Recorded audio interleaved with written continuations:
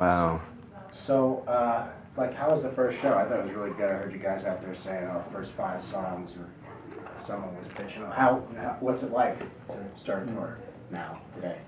Well, today with all the um, lighters out there, felt like we were doing Aerosmith "Dream On" or something.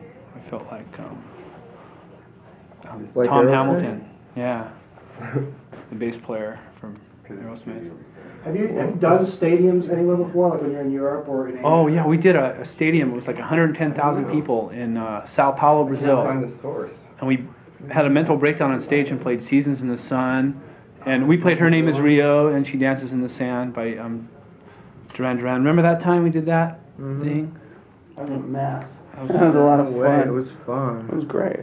Kurt, you sang Seasons in the Sun? Kurt rubbed his pee-pee on Did the I camera. sing? Yes, I did. I don't. I don't know the words. but Played drums too. One of the only singles I can remember from my childhood that What's I used it- to cry to. What's the best lyric in, there, in that It's song? such though? an emotional song. It was like the best lyric.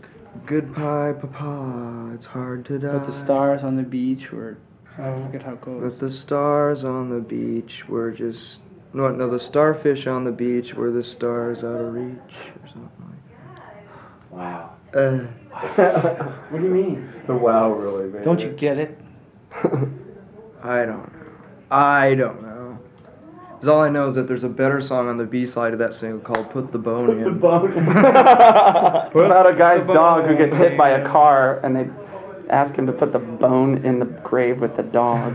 Did you see the new flip side of GG Allin's funeral in it? No. Yeah. He's like, he's sitting there. It's all bloated. And yeah. Sitting there. open casket. Yeah, and he's, Yeah. he's got a jock strap on that says "Eat Me." and they're putting, they, we put a we put a Walkman on GG's GG's head so he can listen to some tunes on his way to the grave. he probably had "Nevermind" on there. So, Dave, you're saying you're playing, so all long, silly boy. you look up and you see yourself on, on the big screen. Is that sort of like you stop and you look and go, oh, or how is that? I just kind of just felt like I was a fucking hockey player on a big screen with a Budweiser sign above it. I don't know. It was funny. I noticed that Reba McEntire's playing here pretty soon. Ah. I saw that on the marquee. Can't miss that. That's when you look to the sound man. And he puts all this echo on your toms. And you go, "Doo doo doo doo doo doo," and everyone's like, Well, see, what I was trying to do, but you guys weren't weren't didn't have enough ESP. Um, I was trying to get up when I was standing on top of the PA speakers on those columns. I was trying to do a solo, like a, you know, arena rock solo. It was the Led Zeppelin solo. Yeah. Did, did you notice it? Yeah. Heartbreaker. Oh. "Oh, I picked I went- up on that. I don't know how to play it, but I picked No, up on that was in good. Sao Paulo, and I started was do do do do do do do do do. It was like I don't know. awesome. What, what can you do when you're in that kind of situation? You know, I, I thought I'd one last time test the audience to see if I could jump into it, and I failed. it's not working. It, it just, you know, and I and I stood there for a long time, and I know they couldn't read my mind, but I, I was trying to like with my eyes trying to tell them, don't hurt me. I'm just. Can't you tell? I mean, haven't you read enough bitching from us for the last year that we've we're not rock stars? You know, we're not trying to be. Although we did display a lot of rock star um, things today. But- One time I, Although we are playing. I don't like guys touching me. So, Kurt, so when you when you fell, 'cause you didn't really jump that hard. You just sort of like laid down into them. I mean, what happened to you? They immediately just started grabbing for me, trying to rip my flesh off for souvenirs. You know, oh, I have a piece of Kurt's forearm. Frame it. I don't know. So, like, you have an arrangement with, with like your guys on the side of the stage and come lift me out. It looked like you were No. sort of playing while they're pulling on you and you're holding on to the guitar. Well, that's. I think that's a, a reaction from from the people that work with us to try to save me. You know, when I do stupid things like that, they're never prepared for it. I just it wasn't like before the show. I said I'm going to do that. You know, I was really for a long time. Obviously, I was contemplating whether I should do it or not, but. I just wanted to try to do because it used to be so much fun in clubs, reminiscing about the old days. But you know, I used to be able to jump out in the audience, and then the audience would like carry me all the way to the back. I'd like like roll around all the way to the back, and it was really fun. And it was like a celebration, like everyone's pulling, jumping, you know, throwing like up in the air beach and ball. everything. Yeah, like a beach ball at an arena rock concert. But these kids just um, some of them, some of them just don't understand that. They're not used to that. So is all they know what how to do is to tear people apart. So. not talking about clubs like the old days, but just the distance. I mean, it seems like I was, I was looking, I think maybe from you to the audience, it's about fifteen feet. Not quite that. Not that, Does, that does much. it feel distant? It does feel 15 feet, but it's not really 15 feet. It's about six feet. But what was your question? Look, do you, do you notice, does, is, is there a trade-off, you know, in playing in, a- I mean, you're playing arenas, obviously it's a lot of people. You know, what are the, I- you know, I wanna hear you talk about the difference in the, in the mind of the audience, how close you are from them, and can you see the people, you know, I mean, like, I- you can see the people who are catching off the spill lights, but, you know, forty yards away, you know, four hundred feet away, I mean, you have a sense of that, is, do you feel the energy, is it great, is it void, what's that? Oh yeah, yeah, I can feel it. I, I can sense it, and cer- at certain times when the house lights come on during certain parts of the song, I can see everyone. Especially like I think Lithium's a good example because when we break into the distortion part, I- um, the lights turn on and I can see everybody jump up and down, and and I realize that it's not only just the front part that I can see, but the whole audience, and it's great. It's I mean, there's nothing better than you know that much of a capacity of people you know in tune with, with with the band and giving off that much energy it's just like a little club but a hundred times more you They're singing good So- too, there, there were times. yeah they always sing during lithium which is kind of neat Yeah. I like Or if they don't speak English, they go, hey.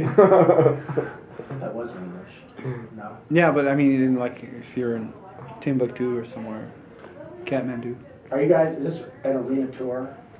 We're playing some Not really. theaters. it says arena on uh, arena on a lot of the shows on the itinerary but they're like five six thousand seat places They just say which that don't to really us feel constitute like for we're arena popular. yeah they just they just put arena down there so we feel better 930 Club Arena. There's some mini, yeah, like in, in Worcester, it's got like a miniature Madison Square Garden, it's about five thousand seats, but it's laid out like this, it's just shrunk. Did you guys think of, of playing smaller places? We did, and there was also like the reality of it too. It's like well we that's where we could. We wanted to for sure. I mean, we were determined about a year and a half ago after getting off of, you know, the grueling tour that we had that we wanted to play.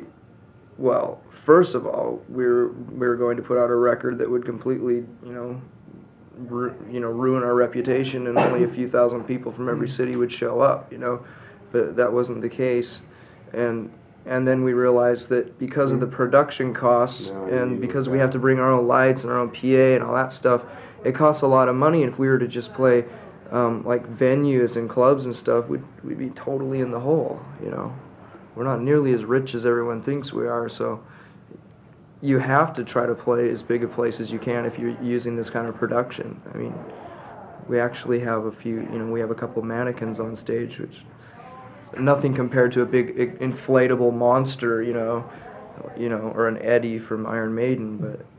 So is it, do you have like backups, I said, you know, took some shots at the one. What? Anatomical stuff usually isn't too cheap, I was, when you were smashing the. Well, they can up, glue it back together. Yeah. It comes together, well, it looks glued together, I Duct tape. What? You're, you're you're talking about audience, I mean, you're, I, I seem to remember you guys talking at, at some point about, you know, when you get an audience larger than a certain size, you start attracting people that maybe isn't your audience. Remember the bass player in Jane's Addiction going off about at Lollapalooza, there are always people you never wanted to play to, coming to his shows. Is that something that comes up for you? Is that, you know, maybe that's an ugly question and. uh, Well, it is an ugly question, but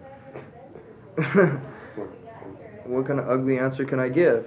I don't know, live. No, I, I- just Go ahead. it just seems like just like It doesn't. just feed off of the crowd. It's live. You know, it's not like you're sitting there vindictive or something or like contemplative. You're there because you're concentrating on the song, and there's a lot of people there having fun, and it's just kind of like a like a reciprocal thing. I think the know? point that we're trying to put off in the beginning of when we were doing all those interviews when Nevermind was getting really popular was that we were really concerned with the people who wanted to come to see our shows and have a good time. We were we were afraid that there would be these fringe mean type of people who don't really like the music but just go to the shows to cause trouble. We didn't want that, you know.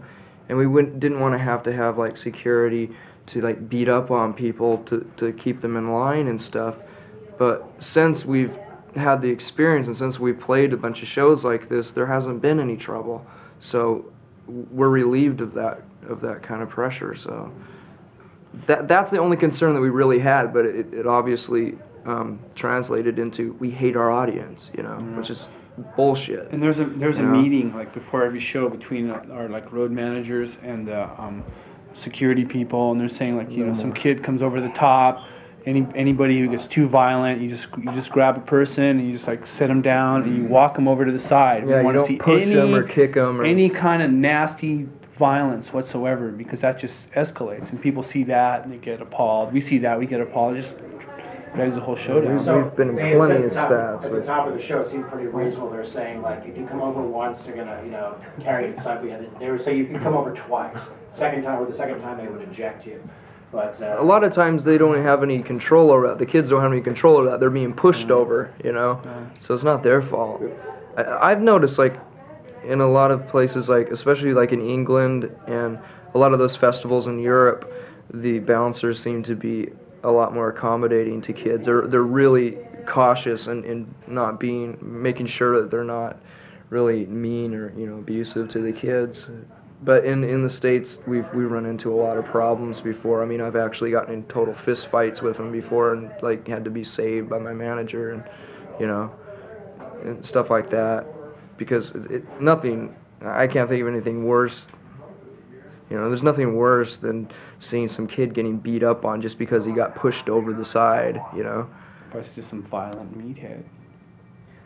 Um, come back to the, the audience question, I wanted to go to a different angle. Uh, People also talked about selling out when you got big, the whole idea of that, you know, if a band, if you sell more than a certain number of records, there's something wrong.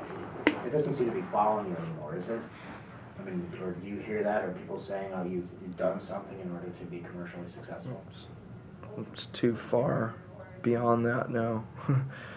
I mean, it's it's been going on for so long. There's nothing we can do about it. Um, That that issue doesn't even come up What you said, anymore. you said before, let's make a record to like, you know, we, these weren't your words, but, uh, to, you know, blow away that audience, and the eight million people who, who bought our record, let's get rid of, you know, I don't know, seven and a half million, whatever you're thinking. Yeah. So When, when you say that, what do you mean? Well, when I said that, like I said, the main reason was to make sure that we could have a good time at live shows, you know, and uh, we just weren't comfortable with it at the time, you know, and now that now that it's been proven to us that there aren't any problems at shows, then it doesn't matter, you know. Obviously, that people are behaving themselves. Maybe the message got across to them somehow. Maybe all that bitching and complaining that we did may have worked a little bit, you know. So you weren't So- talking about wanting to alienate or lose most of your. I was in the beginning, about a year and a half ago. I was completely fed up with the whole thing. I didn't want to be a rock star at all. I, it was just, it was freaking me out, you know. But um, I've had two years to recuperate. Yeah. you also hope you like transform somebody too. Like you know, if they see you, if you're saying something, they might think about it, and react to it. Now, when the camera isn't on you, you're quite animated and interested, so how, how was the show for you tonight? I loved it. You, you look at you were bouncing around. I had a good Throw- time. Are you the one who was hitting the head? Who got hit in the head with the stick pin? Not me. Me. How did someone get to the back back? I don't know. I got a bra. Whoa. My first bra. My first bra. I got a Germs t-shirt. Someone's wearing a Germs t-shirt. Are you serious? Wow. great. That's Used. pretty cool. It was used. Yeah. There are a lot of- there are a lot of shoes coming over. Yeah, what's with shoes? Who would throw their shoes? I don't know. And uh, there's only one that comes up. I know what. they go home with hopping. At first I thought it was people just losing them coming over. They were flying over. People were staying back there the whole time. The other shoes on the side of the road when you're driving, like you see a shoe there. Like, oh, there's that other shoe. Should have picked up that other one there. This covers me for questions I want to ask about the tour. There's some other things I'd like to try and see if they're not too taxing or, or stuff. Is there stuff about the tour of the show that you think we should talk about that we haven't? Um, what do we talk about?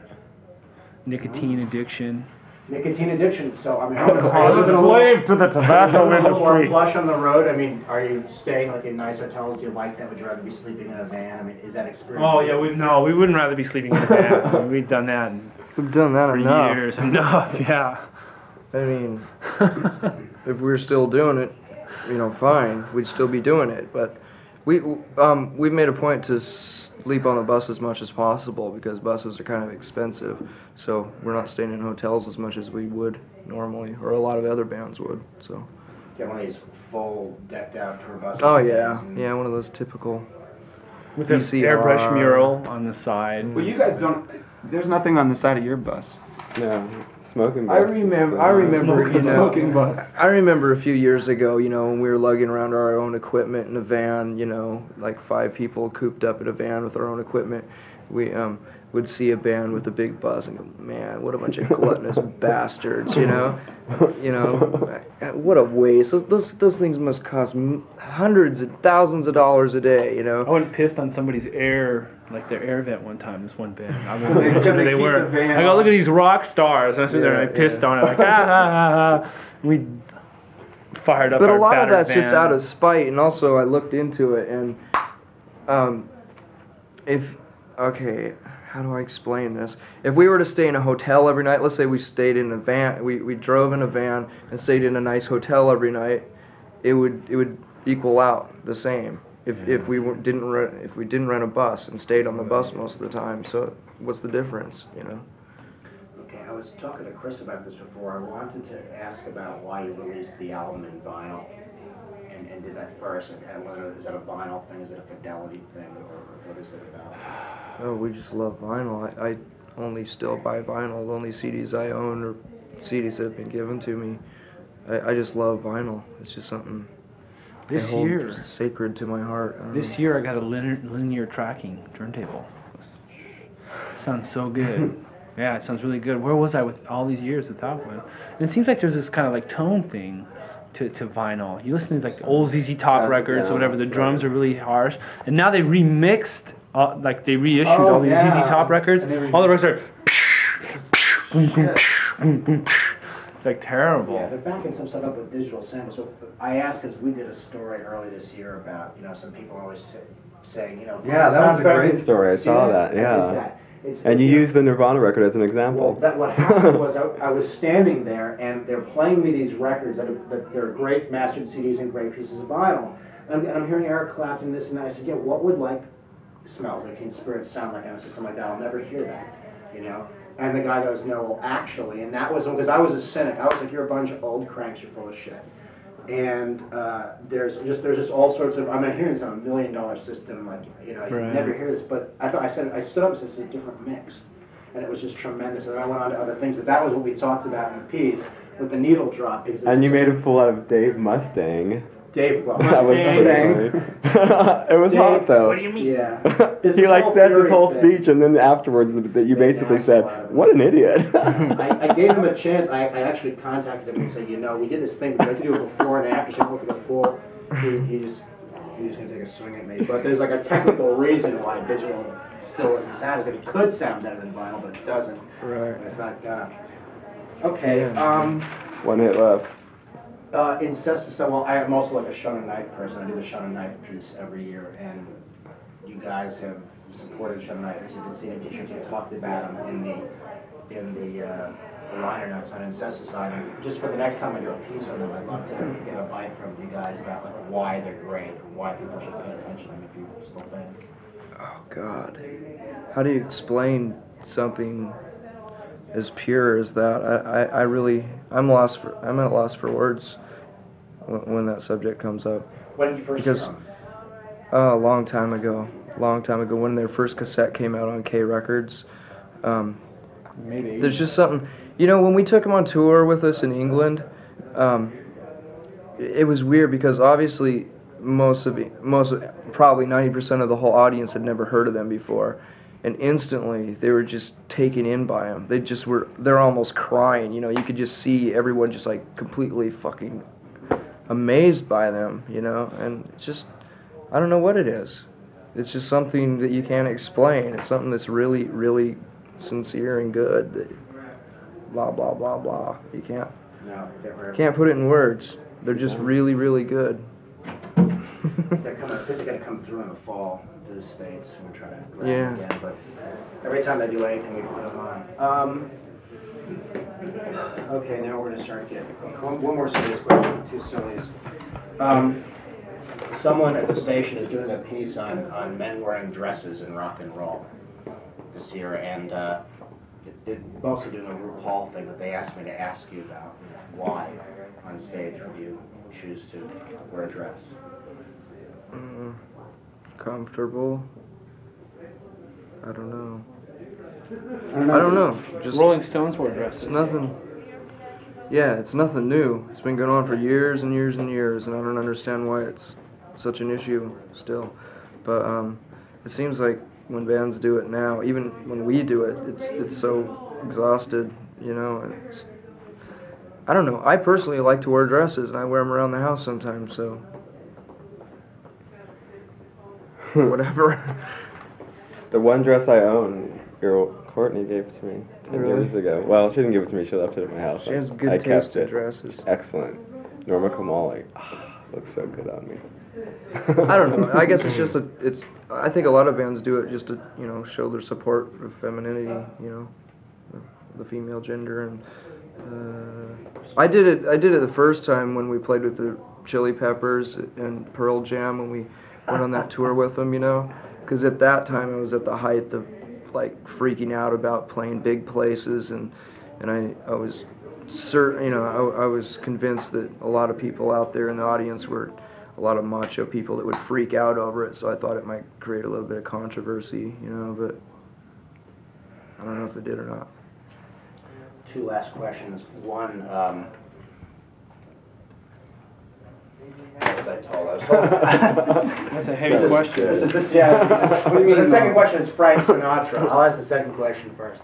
Uh, we're having Frank Sinatra on the show, and we're asking people if they know who he is, care who he is, Wow. think he matters. Any fan, any Frank Sinatra? You know what I like about Frank Sinatra? It was like back in the in the fifties when um, Sammy Davis Jr. would show up at a hotel with like the what were they called the The Rat Pack. the Rat Pack, and then they the hotel people would be prejudiced against Sammy Davis Jr. and Frank Sinatra. The big boss man would walk up there and say, "Hey, listen, Sammy stays here." And they'd be like, "Okay, Mr. Sinatra." So I always respected that about him. They didn't want to get their heads blown off. I, I've never heard of him I don't like Harry Connick Jr. yeah.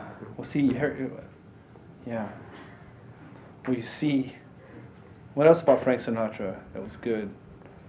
Hmm. Sammy Davis Jr. Uh, Did he do Shirley MacLaine? Okay. In another life. In another. I have 60 seconds. Okay, two quick questions. One, the heart-shaped box video, uh, Christ imagery things, was that your, your idea, director's idea? I'm seeing a thumb. Don't ask me about it. Just, what's, just your, some images. what's your interpretation? Just some images I've had in my mind for years. It's a kind of a way of uh, expressing our views on prejudice, you know.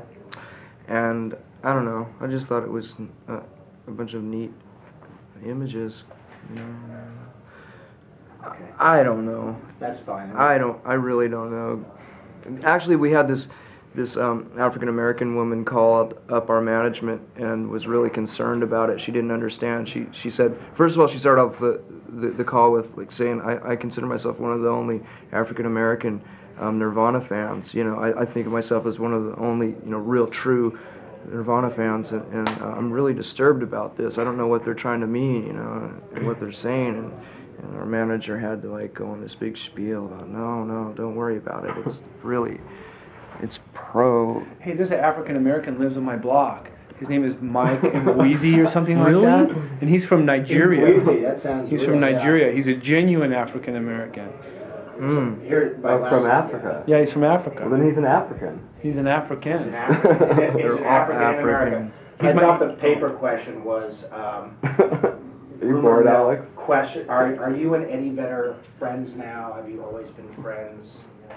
What's We, we never, Eddie? we never had a fight ever. I just have always hated their band.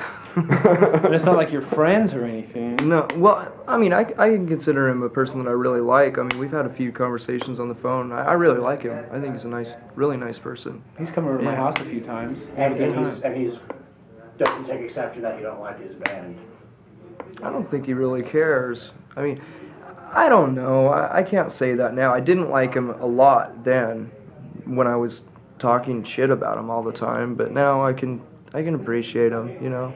I mean, I, I've I've realized that you know the same people that like our band like their band. So why why create some kind of feud over something We just as might do a tour as that, together. you know? Like Metallica and Guns N' Roses did a tour. We're gonna have a Pearl Jam Nirvana tour.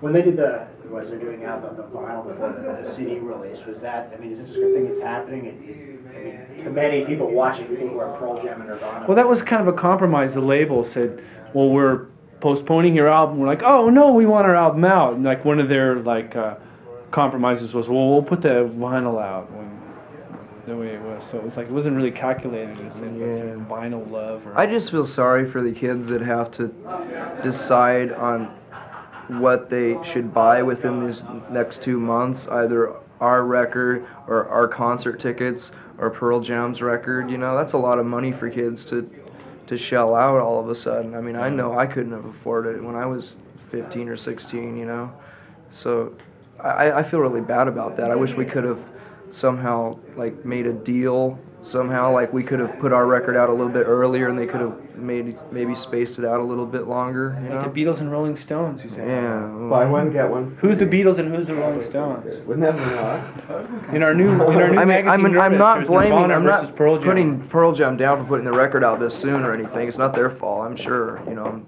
but it's just I just feel sorry for the kids that have to, you know. They got four out of money four for it. stars in USA Today. Ah, you know, tickets. Whoa. Thank you Hey, but you know. Jesus Lizard is playing tonight. Really? Where's Kennedy? Doesn't she do this Some usually? club around. No, she doesn't do this. Okay, bye. Thank you very much. Something for you. What? Someone you've been waiting.